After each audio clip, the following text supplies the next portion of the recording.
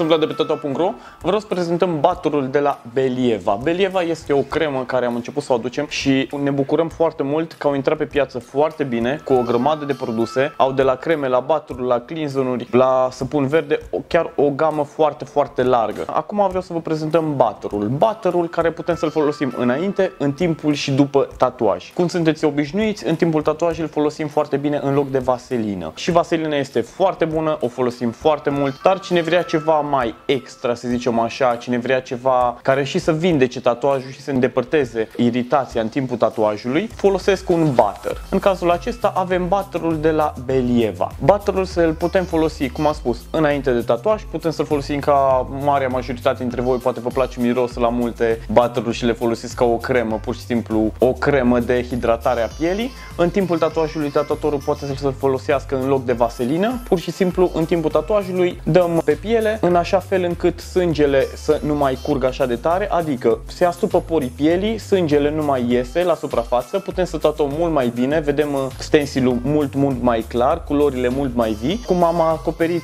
cum ar veni porii aceea de sânge, cum i-am acoperit, pe lângă că nu mai curge, reducem și din iritațiile pielii, să irităm pielea, pe lângă asta ne alunecă foarte bine, foarte, foarte bine alunecă acu, mult mai bine decât să nu folosim ceva, este tot timpul indicat să folosim ori o vaselină, ori un butter și în așa fel avem cele două cantități. Adică 250 de ml avem așa la cantitate mare sau 35 de ml la cantitate mică. Adică dacă clientul vrea să-și folosească, nu știu, să vă ia ca cremă de îngrijire. Ca și cremă de îngrijire, putem să o folosim de 3, 4, 5 ori pe zi de câte ori este nevoie. Mai exact, îl folosim după ce am terminat un tatuaj, ne dăm pur și simplu cu butter. Butterul putem folosi ca un fel de cremă de vindecare. Îl dăm cu un butter, o un strat foarte subțire, numai să acopere peli- așa o peliculă foarte subțire să acopere tatuajul. Acoperind tatuajul, dacă ieșim afară, nu mai intră tot felul de bacterii, mizerii care sunt în aer, praf și restul, care ne poate irita tatuajul sau în cel mai rău caz se poate infecta. Și în așa fel, butterul ține ca o barieră care ține toate chestiile astea la distanță. Pe lângă asta, el și vindecă.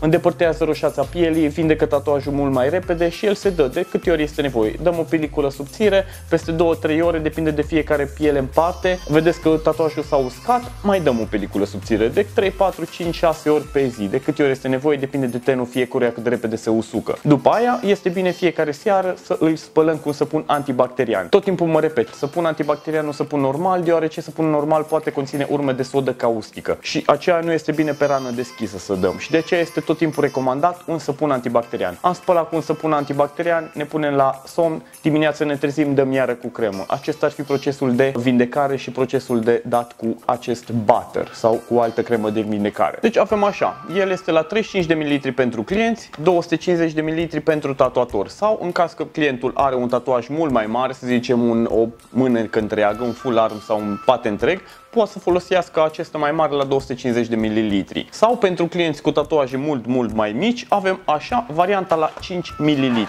Sunt pliculețe la 5 ml. Ei au făcut toate variantele posibile și disponibile pentru fiecare tatuaj în parte. Avem un tatuaj foarte, foarte mic, să zicem pe încheietură, sau un tatuaj micuț, să zicem așa 5 pe 5 cm, putem să folosim un pliculeț. Dacă avem un tatuaj mai mare, putem să folosim un tub la 35 de ml. Dacă avem un tatuaj mai mare, la 250 de ml sau pentru tatuaj tatuatori, cel de 250 ml în timpul tatuajului. Acestea ar fi cele trei variante de la Believa. Believa Professional Butter, cum se și spune. 5 ml, 35 de ml, 250 de ml.